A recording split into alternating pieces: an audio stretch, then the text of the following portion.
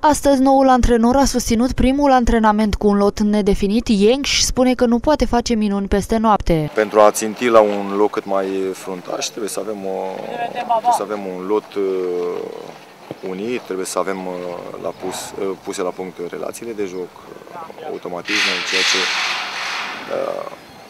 asta nu poți să o faci dintr-o dată. Eu, astăzi a fost, asta a fost prima mea zi de lucru, exact cum am spus, foarte mulți jucători și nu ne putem uh, exprima așa, știu, cu, să, sau să susținem cu mare încredere că da, noi uh, vrem să fim pe primul loc. Nu, în niciun caz lucrul ăsta. Marin Condescu, unul dintre creditori, afirmă că important este ca echipa să meargă mai departe. După plecarea lui Teja, imediat s-a găsit un locuitor prin aducerea noului antrenor. Urmă înțelegerii pe care am avut-o, mi s-a spus de către Teja că are o ofertă mai tentantă decât la Panduri.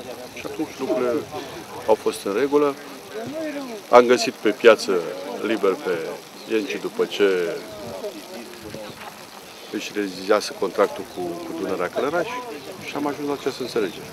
Obiectiv promovare. Ca și activitatea, Adrian Ieg și-a ocupat în perioada 2008-2009 postul de antrenor secund la Rapid București, poziție pe care a eliberat-o în vara anului 2010. În 2011 acesta s-a transferat la FC Târgu Mureș și în 2012 a semnat cu nou promovat în Liga 2 CS Buftea.